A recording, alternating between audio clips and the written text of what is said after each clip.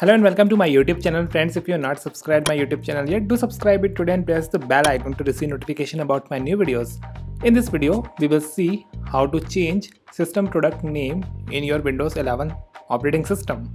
So the system product name is visible in the system section of the settings app. So first we will see where actually the system product name appears in the settings app. So I have opened the settings app and I am inside the system section and here you can see that first we have the system name mentioned here which we can rename using the rename link but below that we have system product name mentioned here which we cannot change natively using the settings app. So in this video we will see how you can change this system product name in your Windows 11. So let's get started. Right click on the start button on your taskbar, select run.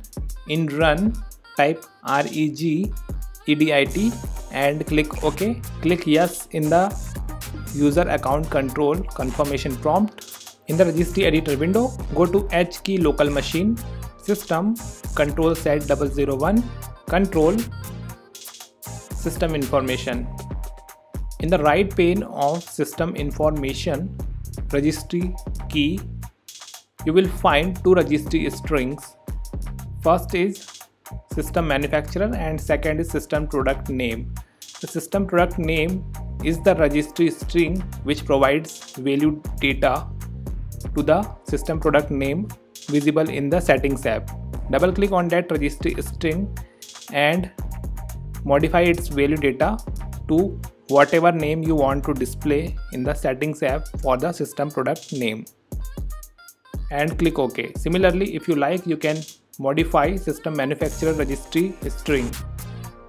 Once you are done modifying both of these registry strings, you can close the registry editor and then again open the settings app and go to system section.